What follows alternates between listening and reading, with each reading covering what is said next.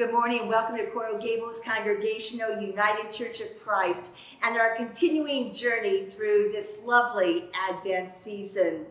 This morning, joining me, we have Greg on the piano, Sharman on vocals, and of course, Elena behind the camera, so that we all might be together to celebrate this sacred and holy season. The candle of hope continues to light our way as our lectionary invites us to hear these words. As Jesus moved on from Capernaum, Two blind men came after him, crying out, Son of David, have pity on us. Jesus said, Are you confident that I can do this? Yes, Lord, they replied. And at that he touched their eyes and said, Because of your faith, you have been made well.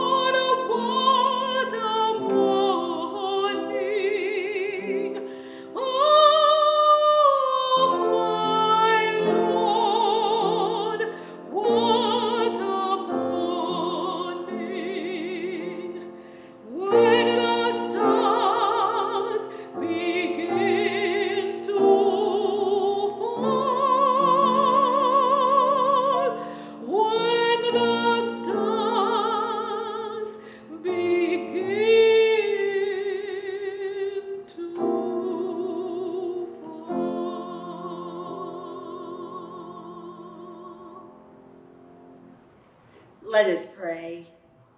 Thank you, O God, for our gift of faith. We are confident that you can heal us of all sorrows and disappointments. And what gift can we give you in return? So help us to prepare our hearts for Christmas by making time to recall, to remember, and to celebrate your goodness to us, even in the midst of tragic times, difficulties, and challenges. Thank you for your enduring love. And we say together, we wait for you, Lord. Take care. We'll see you tomorrow.